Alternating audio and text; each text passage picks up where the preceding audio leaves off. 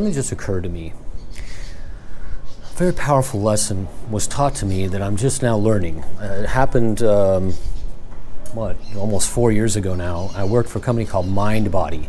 MindBody hired me. Uh, I became part of a call center of about 70 people. It was a burgeoning, fledgling call center. It was about six months old by the time I joined it.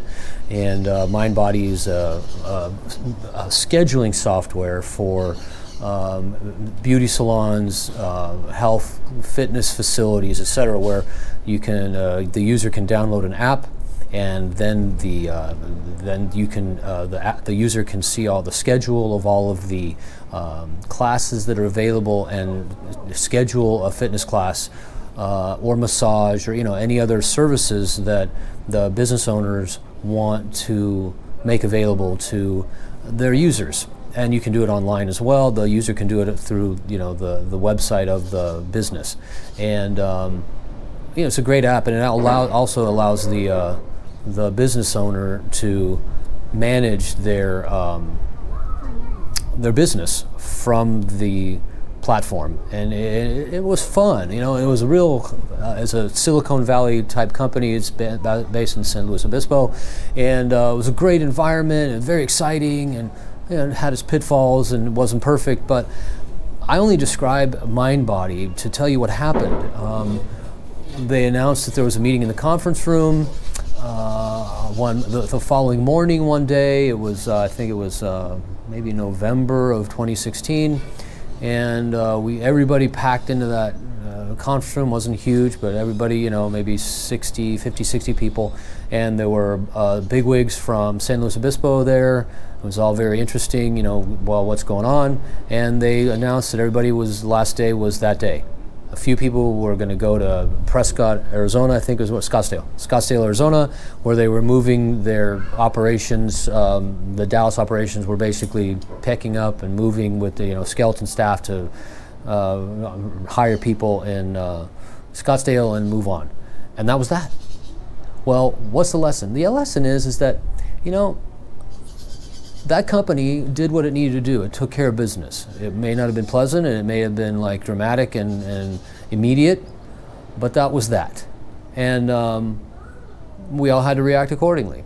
And, you know, lives changed, uh, clearly. So what's the lesson? The lesson is, is that, you know, that company did what it needed to do, and you know what? People do too. Sometimes you need to make dramatic moves. Sometimes you don't want to announce them to the world. Sometimes it's a good idea not to say anything to anybody uh, or to say things to a few key people that you think will keep a secret. And then when the time is appropriate, you make your announcement. And uh, in this case, we made an announcement we're moving to Panama. Uh, and we did that. And we announced it to a few people early on, but not many. And, um, you know, we did what we needed to do. We took care of what we needed to take care of from our family. And that's a, that's a powerful lesson I learned from MindBody. So I want to thank MindBody for making that change, and may not have been pleasant, um, but it was what it was. And uh, you know, uh, another example of that that happened in my personal life recently, um, that had wasn't a decision of mine; it was a decision of Hashem. I was running with our with our dog, and um, to keep a long story a little shorter, she was struck by a car and, and killed, and she died in my arms, and that happened about three weeks before we left. It was one of the most tragic things that's happened in my life. Um, you know, in a way, I'll never get over it. She was my heart. She was our heart. It was it was the most tragic thing. You, you know, it was just, and but that was Hashem. Hashem had a, you know, he has a plan, and he executed his plan, and that was that.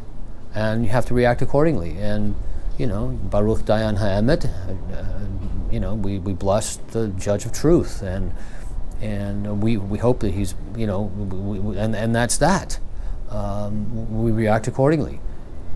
So I think there's powerful lessons in that. Um, sometimes Hashem makes his plan known to people, but usually you find out on the fly.